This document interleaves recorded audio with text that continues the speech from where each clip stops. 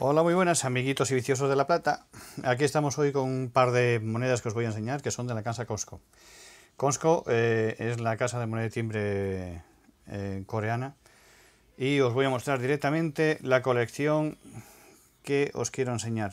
La primera de las dos colecciones que os quiero enseñar. Esta es la Zixing eh, Corea en el año 2017 lanza esta colección que, como sabéis, consta de 12 monedas. las colecciones lunares siempre son 12 unidades que corresponden cada año con un animal según la mitología del calendario chino.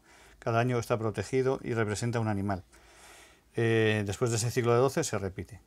Eh, comentaros que esto, en primer lugar, no son monedas. Después os enseño una en detalle, os comento los detalles de la moneda y os comento también los detalles en sí de la colección y demás. Eh, os voy a pasar a enseñar una por una las cinco unidades que hay hasta hoy y la quinta, que es la, del año, la más reciente, que es la del año pasado. Aunque se lanza, se edita en el 2022, pues eh, nos paramos un poco a verla. Como podéis ver, aquí tenéis el Gallus, la primera edición de esta moneda, que parte en el 2017 con el Gallus.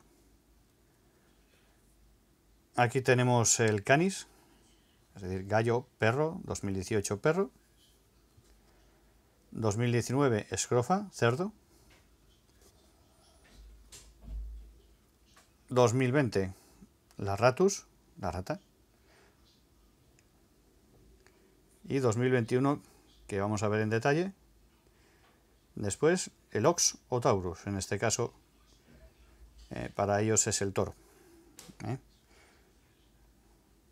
Aquí tenemos la escrofa, que esta es una variable, eh, es una variante de, de esta, que no sé por qué la tengo, pero bueno, pasó por mis manos, me la quedé y bueno, eh, aquí está, pero no suelo coger variantes precisamente un año lunar tampoco, me parece un poco ridículo, pero bueno, esto que pasó por las manos te gusta y te la quedas. Eh, esto que hay al lado simplemente es otra colección, ¿eh? que tengo dos, ya sabéis, tengo dos niñas, una, una colección para cada una, que esto es un, un legado.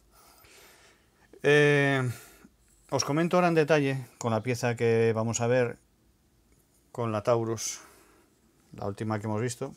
Como os decía, esta, esta pieza, que os muestro ahora un poco más en detalle, eh, sale el 31 de enero de este año 2021, eh, aunque de, este año 2022, perdón, aunque corresponde al 2021.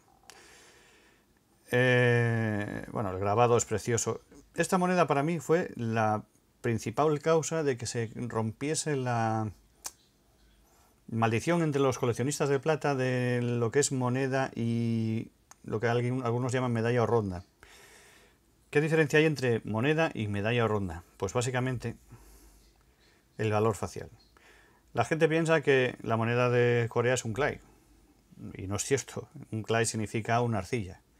Simplemente, que es como se hacían antiguamente las... Em, eh, pues básicamente lo que era la metalurgia. Eh, se hacía sobre arcilla, se hacía sobre arcilla los, los, eh, los, escudos, las armas y las armaduras.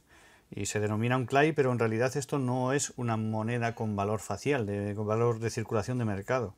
Sería del género ya decir que dos dólares una moneda de Australia es un valor de mercado, pero sí que es, realmente es un valor facial. Es un valor que un tonto podría ir a una a una tienda a comprar con dos dólares eh, de plata algo. Sería un poco, digo un tonto porque claro, el valor del metal es mucho mayor, pero bueno, eh, hay de todo en la viña del señor y podrías comprar algo porque sería de circulación legal. Eh, sin embargo, un clay no es la moneda de Corea. No es la moneda oficial de Corea. Un clay significa simplemente una arcilla en relación, como os digo, a cómo se hacían. Bueno, como podéis ver ya aquí, os muestro ya en el reverso, pues como veis es en el 2021, como os decía, la pureza de siempre, de 999, plata pura, República de Corea. Eh, un clay de valor facial, eh, como os digo, es simplemente algo simbólico, no, tiene valor facial.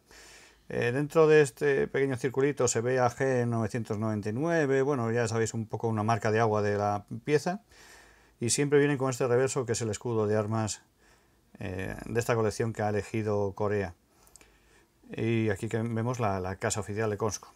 Estos guerreros que podéis ver aquí son guerreros, son guerreros mitológicos de la mitología coreana. ¿eh? Aprovechan esta imagen icónica del guerrero para generar los Cixin, como generan también, veremos después, los Chiwo. Y son simplemente, pues son guerreros mitológicos. Son guerreros de la época que bueno, son exalzados en leyendas, en bueno, leyendas de la época, canciones y cantares y demás, y bueno, eh, los llevan a la moneda como, como representación de su, de su país. Esta moneda, como os digo, rompió, rompió la, la, maldición, la, la, creencia de los eh, numismáticos a no querer medallas o rondas, eh, porque a mi modo de ver, vamos, rompió también con con estos grabados eh, rompió el mercado. Esto, es una, esto teóricamente es una BU. Este grabado, este cuidado, es realmente es una BU, es una moneda de circulación, un brillante un circulate, es, una moneda teóricamente brillante y no circulada, pero es una moneda de, gama baja, teórica. Claro, esto en el año 2017 y en el 16, cuando salió más todavía, cuando salió el, el Chivo, eh, dejó por tierra cualquier tipo de grabado de colección tradicional. Y eso también lo aprovechó Biosa Ventana Estados Unidos para, para grabar eh, monedas mucho más, mucho más decentes, o en este caso medallas, sin valor facial, y meterse en el mercado de, la plata.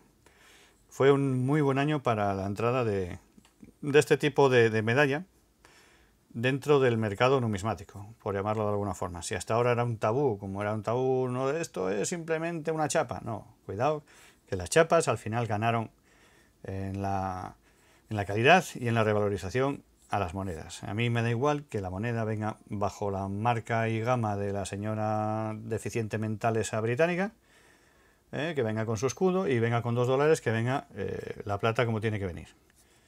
¿no? La gente más joven no tuvo los mismos prejuicios que la gente mayor de la numismática y, bueno, así rompieron el mercado, devalorizándose mucho más incluso que las monedas de valor eh, con valor facial y de circulación normal. No digo ni que sea ni mejor ni peor, digo que si está bien hecho, a mí qué más me da que un clay sea una arcilla o que ponga aquí dos dólares coreanos, me da igual, es que me la suda. ¿eh? Y aquí tenéis, quinta edición. Comentaros que estas colecciones tienen un diámetro de 40 milímetros, son 31,10 gramos de plata pura, 31,105, como siempre. Una onza es lo que es, 31,103, 105 gramos de plata pura.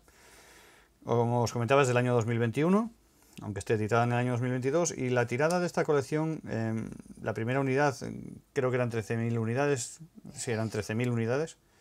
La, la Gallos, sin embargo, esa colección hoy en día es de 20.000 unidades. Como veis, ya os lo dejo por última vez, último detalle. Podéis ver los tipos de relieve, las profundidades en función de la cercanía, lejanía del guerrero y los fondos son una auténtica maravilla. Bueno, pues espero que os haya gustado. Os traigo enseguida la segunda colección de Consco, que vale la pena ver, creo también, y vale la pena recrearse en ella.